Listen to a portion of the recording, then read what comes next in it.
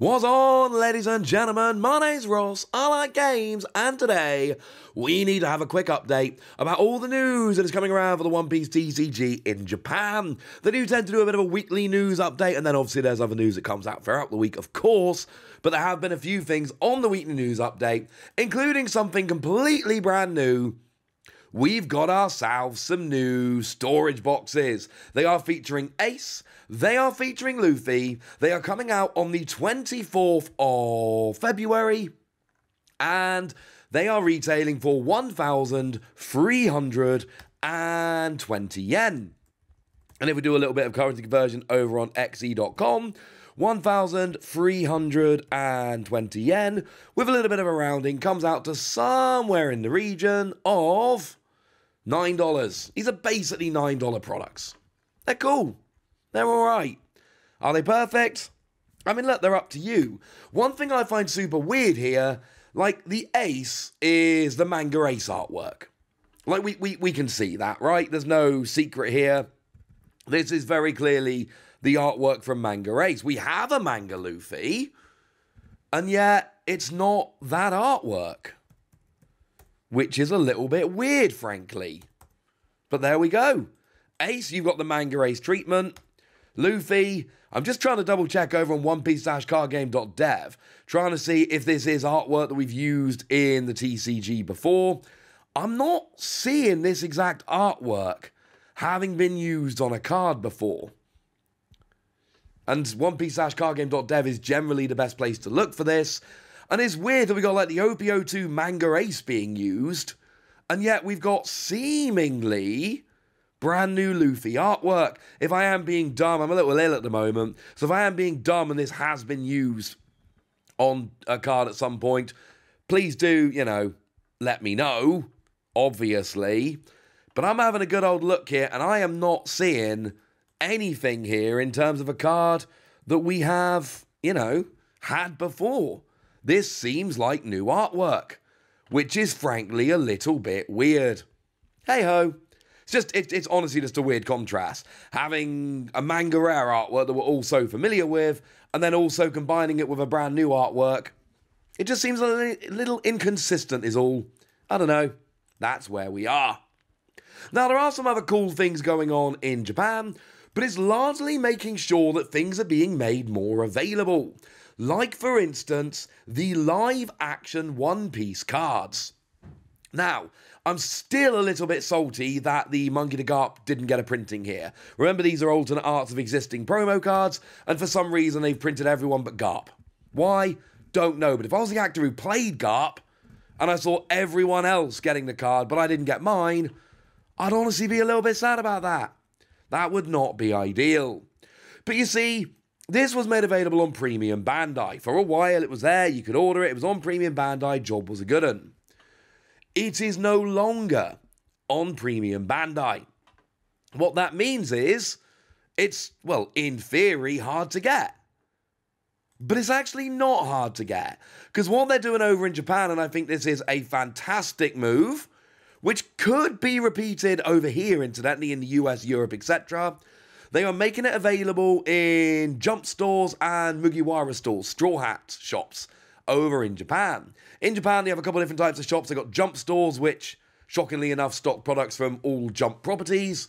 Jump being the, the comic, the manga that collects a bunch of these, including One Piece. And then they've also got the One Piece Mugiwara stores. Mugiwara means straw hat in Japanese. And essentially, that's far more just like, hey, this is for One Piece. If you're a One Piece fan, Come on down, this is awesome. And they are making these available in these shops. And I think that is absolutely wonderful. I think this is brilliant and awesome and a fantastic idea because these are products that they could have just gone, we'll whack it on Premium Bandai, and when it's gone, it's gone, and anyone who misses out, misses out. And there's partly like a marketing thing here, obviously. They are trying to push the live action One Piece, and selling these in these stores is going to push the live action One Piece. Obviously, there is something else going on here. This is still a marketing ploy. But as a fan of the One Piece TCG, I think this is fantastic. Because either I want these cards and I can go to jump stores and Mugiwara stores and pick them up, and that's amazing, or I don't want these cards and I can just ignore them but the fact that they're more available is awesome. Speaking of things being more available, EB01. Now, EB01 is the new set, which is, is literally coming out in Japan this weekend. Very cool set. It's the first extra booster, the first special set that the One Piece TCG have actually done so far. So they've got, you know, the ratios of which cards are actually included in there are a little bit different to what we've seen from other sets. It's not exactly like we would generally expect it to be.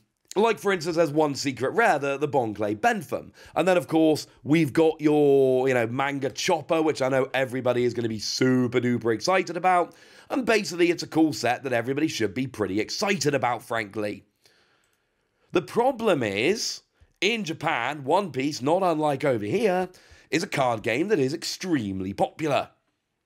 And that can lead to some issues like, you know, not actually being able to get the cards. So, what Bandai are doing is they are making this available over on Premium Bandai. And I think that's fantastic. I think that's a wonderful idea. I think that's a phenomenal idea because it's going to make these cards more available. It's going to mean people can get hold of them more easily. It's just going to be a wonderful thing. I think this is fantastic. And frankly, I applaud Bandai for doing this. Because again, this is one of those things where Bandai could just turn around and go, look, we are sending what we can to stores. It's not our fault. It's really popular. People are buying them. We are trying our best. What they're doing instead is making it available on Premium Bandai. I believe it's limited to one per box. And they're basically saying, you know what? We are going to go out of our way, take extra special measures to try and make this set more available to the fans of the card game. And I just think this is fantastic. I love this. And, you know, a lot of stories we're talking about today, like the live action cards being put into Jump stores and Mugiwara stores, like EB01 being put onto Premium Bandai, it's just making cards more available for fans of the game. And here, there isn't really that much of an upside to Bandai. At least putting the live action cards in these shops you know, works as a bit of advertising for the live action One Piece. But here, the stock that they're diverting to Premium Bandai, they could very easily just send to the stores they're already sending to. This is extra work to make boxes available in a different way that they knew were going to sell anyway. But they're doing it to make these cards more available to average people, people who don't necessarily have a shop they can just wander down to on release date and buy from. And I just think this is absolutely fantastic. And then they're running back an old favourite. So the eight pack battle. Yeah, that's back, ladies and gentlemen. The eight pack battle is back. This is where you rock along. You get eight packs of the One Piece TCG. You get yourself an all colour Luffy for entering. And then if you go and win the whole thing, or top two if it's a double size event, then all of a sudden you get your alternate art Sabo as well. This is honestly kind of cool. And the all color Luffy is the one whereby it's all colors, but also it's it's got every name and every trait. Basically, any card that needs a specific type or even a specific leader to interact can work with this Luffy. So it basically means that if you choose to play this leader, you can play absolutely any card you get in your eight packs. And I just think this is a really, really cool way to do it. Well, they're doing it again. We saw these starting around with OP04, which is, of course, the set from which the Sabo comes. This is, of course, the same Sabo, which is, you know, among other printings, the manga rare. And this is awesome. I love that they're bringing this back because, again, this is exactly the kind of thing where they could have moved on by now. They could have left that Akira Igawa Luffy a bit rarer. They could have left this Sabo, and remember, this Sabo is one which is going to be very rare because it's only given to the winner. They could have just left that sit and increase in value. And the fact that they're now making it, you know, more available, the fact that more of these tournaments are running, I just think is fantastic. I'm a huge fan of all of this, honestly. Like these storage boxes, they're new products, take it or leave it. I've shown you, I've explained it. And obviously, these storage boxes will get in English at some point. We always get these. These accessories Japan gets, we get them at some point as well. Except I think the card frames, I'm not sure we got them yet. There's a weird thing going on there because we don't get the Pokemon card frames either. But anyway, we're going to get them at some point. We always get these storage boxes.